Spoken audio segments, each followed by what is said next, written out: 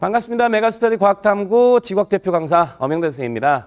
자, 우리 고2 학생들 평소하고 다르게 올해만큼 여러분들 뭐 공부하기도 좀 힘들고 그리고 어, 중간고사, 기말고사 대비하기도 좀 그렇게 힘들었던 시기가 없었던 것 같아요. 유례 없는 코로나 정복 때문에 여러분들 학교 등교하는 것도 방학 끝나고 나서 좀 많이 미뤄졌고요. 학교 수업하는 것도 어, 나름 그래도 온라인 수업으로 여러분들 최선을 다해서 듣고 있겠지만은 평상시하고는 좀 다른 상황의 수업을 듣기 때문에 내신을 준비하는 경우도 내신, 좀 내신을 준비하는 것도 좀 많은 어려움이 있을 거예요. 그리고 이제 여러분들 선배들인 고3들이 지금 한참 수능 준비를 하고 있지만 이제 8월 달 지나고 9월, 10월 되면은 사실은 고3들 수능 준비는 거의 마무리돼 가고 실질적으로 여러분들이 이제 어, 고3이라는 생각을 가지고 이제 수능을 준비해야 되는데 그 이전에 이제 그 역대급으로 짧은 여름방학이긴 하지만은 그래도 우리 고2 학생들이 현재 시점에서 어떻게 내신을 좀 준비하고요. 그리고 수능은 또 어떻게 준비를 해야 되는지 그래서 간단하게 내신 선행과 수능 준비 그 어디쯤이라는 제목 가지고 여러분들하고 한번 말을 나누는 자리를 가져, 가져보려고 합니다. 자, 올해는 정말 역대, 역대급으로 짧은 여름방학이죠. 여름방학이 사실 거의 없다고 봐도 무방할 것 같아요. 코로나 때문에 여러분들의 등교도 좀 많이 좀 늦어졌고요. 학교 수업도 이제 뭐 그리고 나름 최선을 다해서 하고 있겠지만은 예년에 비해서는 정상적으로 좀 이루어지지 못하는 상황이고 여름 방학도 그래도 예전에는 기말고사 끝나고 그래서 한 4주에서 5주 정도 여름 방학이 있고 그 시기에 어 내가 평소에 부족했던 공부들도 좀 많이 했을 거고요. 그리고 이제 2학기 중간고사도 미리 좀 준비하는 그런 시간을 가져, 가졌을 텐데 역대급으로 방학이 너무 짧아가지고요. 보통은 학교마다 차이는 있지만은 3주 내내 정도밖에 안 되잖아요. 그러면 그 짧은 여름방학이라도 여러분들이 이제 어떻게 준비해야 되는지 일단 어 우리 쌤 같은 경우는 지각쌤이죠. 그리고 이제 과학탐구 중에서 선택 과목을 이제 여러분들 선택 과목을 듣는 건데 일단 내신에서는 가장 필수적인 2학년 때까지는 그래도 내신을 좀 잘 쌓아둬야 돼요. 여름방학 때는 평상시보다 음, 국어라든가 수학이라든가 영어라든 이런 기본적인 필수 과목들 이런 것들 항상 내신 준비를 좀 잘하는 게 최우선입니다. 그리고 이제 지각쌤이기 때문에 여러분들이 평소에도 지각을 계속 꾸준히 공부를 어, 했으면은 아, 싶은 바람도 있긴 하지만은 여러분들이 다른 기본적인 국영수 과목을 공부하다 보니 평상시에 꾸준하게 지각을 공부하기 좀 어려운 것도 있잖아요. 그래서 지각 같은 경우에는 음, 시험 직전에 보통 한 2주 정도 남겨놓고 시험 직전 대비 같은 걸로 많이 내신을 준비를 할 겁니다. 어, 그런데, 그런데 그래도 이제 평상시에 여러분들 학교 선생님들, 특히나 내신은 학교 선생님들이 출제를 하시는 시험이잖아요. 우리 수능이라고 하는 건 교육과적 평가원이라고 하는 딱 출제하는 기관이 정해져 있지만 학교 내신 시험은 학교 선생님들 한 분한 한 분이 전부 다 출제 기관들이시기 때문에 가장 중요한 거는 학교 선생님들이 수업 시간에 이런 내용들을 어떤 범위까지 가르쳤는지 그걸 정리하고 있는 게 가장 중요해요. 그래서 내신 수업은 내신 시험은요. 수업을 정말 잘 듣거나 아니면은 수업을 되게 잘 들은 친구들을 좀 친하게 지내다가 지내가지고 그 친구들이 선생님의 수업 내용을 어떻게 필기해놨는지 그런 것들을 여러분들 공부하는 게 되게 중요해요.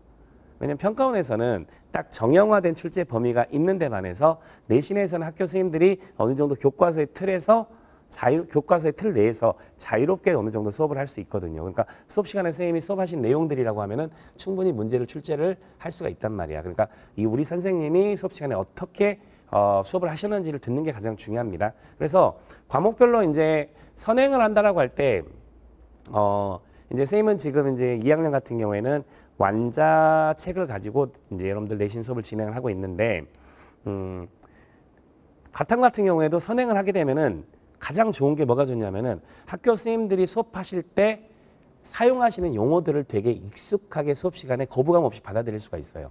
이미 한번 들었던 내용이기 때문에. 우리 과학탐구는 특히나 이제 지구학은 뭐 수학이나 그런 것들과 다르게 뭐 복잡한 계산이나 그런 게 있지는 않습니다.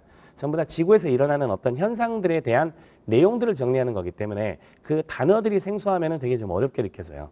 쌤이랑 같이 지금 현재 완자 수업 진행하고 있는 수업들을 좀 미리 좀 당겨서 듣고 그 수업을 들은 상태에서 학교 선생님 내신 수업을 들으면은 여러분 훨씬 더 좀 쉽게 거부감 없이 그런 단어들이라든가 내용들이 들어올 거예요. 그런 의미에서 선행은 어, 뭐 선행이 꼭 좋다 나쁘다 그런 걸 떠나가지고 어, 물리적인 시간으로 선행을 할 수 있는 시간이 있다라고 하면은 수업 시간에 선생님들 수업을 훨씬 더 평소에는 한 50 정도만 흡수할 수 있는 정도의 내 집중력이었다.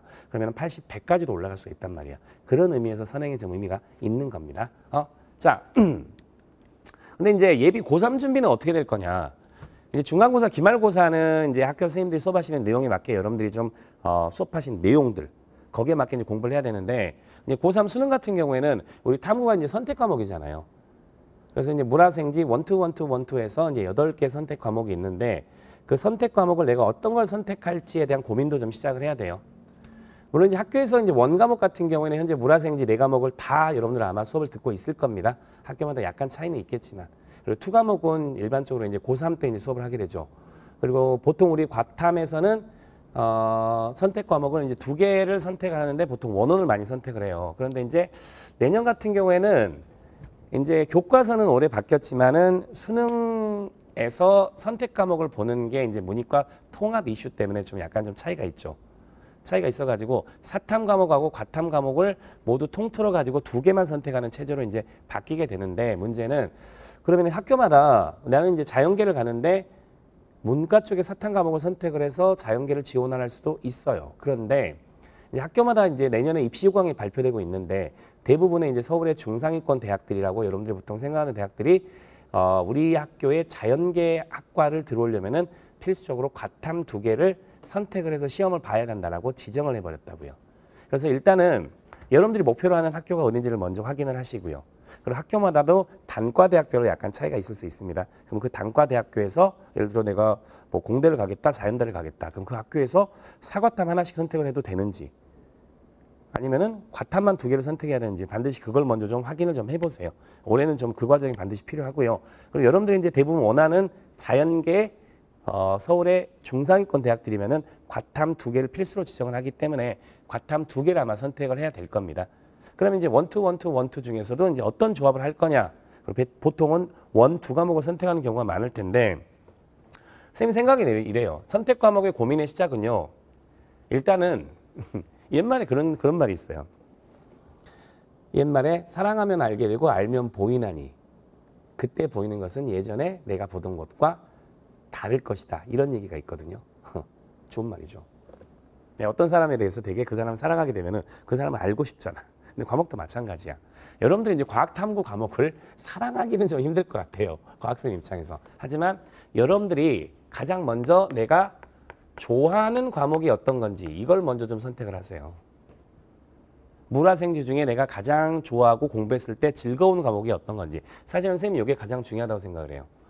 근데 우리가 과학 탐구에서 탐구 과목을 선택하는 가장 첫 번째 기준은 뭐냐면은 내가 수능을 봤을 때 가장 좀 쉽고 편하게 만점 맞을 수 있는 과목이 어떤 거냐. 요걸 선택, 요게 가장 기준이에요. 사실 수능에서는.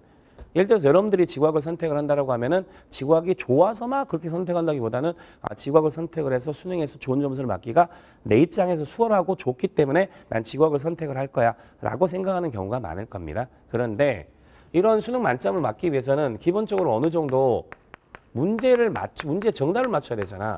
문제 정답을 맞추기 위한 학습량이 어느 정도는 필요한 거야. 알겠어요? 근데 내가 싫어해서 억지로 하는 과목보다는 내가 그래도 이 과목을 공부해서 즐겁고 기쁘고 아, 공부하면서 막 뭐 죽거나 죽, 죽을 정도로 싫거나 그러진 않아. 뭐 그런 과목들을 좀 더 열심히 공부하고 좀 더 깊이 있게 공부하면서 수능 만점을 맞을 수가 있어요. 알겠어요? 그런 관점에서 이제 쌤이 지구학쌤이니까 우리 지구학 같은 경우에는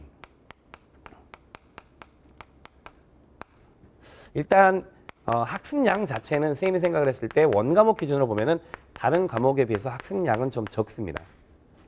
그리고 내용의 난이도도 그렇게 높은 편은 아니에요. 사실은 선택 과목을 결정을 할 때 이 두 가지는 되게 중요한 선택 선택 과목 판단의 기준이야. 어차피 수능이라고 하는 거는 국어, 영어, 수학 그리고 국사라고 하는 필수 과목이 있고 거기에 선택 과목을 플러스로 공부하는 건데 우리 이과생 같은 경우는 쌤 생각에는 수학 점수가 잘 나와야 여러분들이 원하는 대학을 갈 수 있는 가능성이 높아집니다. 근데 수학이라고 하는 과목도 공부하는 시간을 투자하는 대비 성적이 나오게 돼 있어요. 저는 지금도 그렇게 믿고 있어요.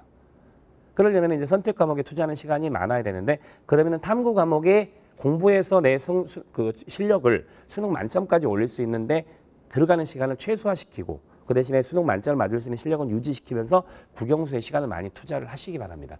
그러면 여러분들 요 양쪽에 좀 균형이 맞을 거예요. 근데 그런 관점에서는 여러분들 선택 과목 결정할 때 가장 좋은 과목이 지구학이야. 근데 문제는 내용의 난이도가 쉬워버리면은 선생님 시험이 너무 쉽게 나와서 너무 점수가 그냥 적체되는 거 아닙니까? 라고 생각이 더 생각할 수 있는데 내용을 내 걸로 만드는 데는 다른 과목에 비해서 좀 적은 수고가 들어가는데 문제 난이도는 똑같은 내용 가지고 어떻게 문제를 출제하느냐는 좀 다른 차원의 문제예요. 근데 문제 난이도가 예전에 비해서 꽤 높아졌기 때문에 우리 상위권 학생들 같은 경우에도 걱정하지 않고 지과권을 선택을 하셔도 됩니다. 선생님은 이제 지각 과목 지각쌤이기 때문에 지각 선택을 하면 당연히 좋다는 얘기를 해드리겠죠. 그리고 지각을 선택을 하게 된다라고 하면은 선생님이 여러분들과 같이 1년 동안 같이 저는 해마다 수험생활하는 수험생하고 똑같아요. 그럼 여러분들 또 반드시 수능 만점으로 이끌어지는 그런 강의를 진행을 할 거고요. 그래서 이제 9월 16일에 여러분들 이제 매 어, 이제 학평을 보- 보게 되는데 어, 2학년 때는 여러분들 학평에 대한 부담감은 그렇게 크게 가지지 않죠. 왜냐면 이게 내신 과목에 내신 성적에 들어가는 것도 아니고 뭐 이게 그대로 이제 수능에 반영이 되는 것도 아니기 때문에 그래도 이제 학평은 항상 이런 관점에서 좀 접근을 하세요. 어, 내신은 학교 선생님들이 시험 문제를 내는 스타일에 따라서 내신은 워낙 천차만별이야. 근데 학평은 아 평가원이 내는 수능 스타일을 내가 미리 한번 연습을 해볼 수 있는 그런 거라고 생각하시면 돼요. 그래서 사실 학생들마다 내신 점수는 잘 나오는데 이런 이 평가원이나 학평 모의고사 점수가 좀 안 나오는 학생들이 있고 내신은 안 나오는데 이런 모의고사 성적은 좀 잘 나오는 학생들이 있어요.